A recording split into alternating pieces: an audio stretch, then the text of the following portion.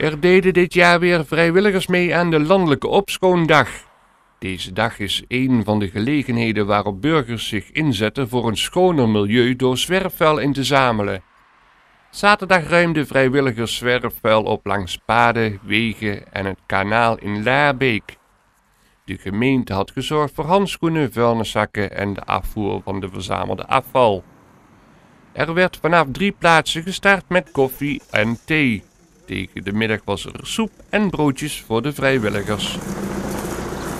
Doe ons best, hè, de witte. Ja.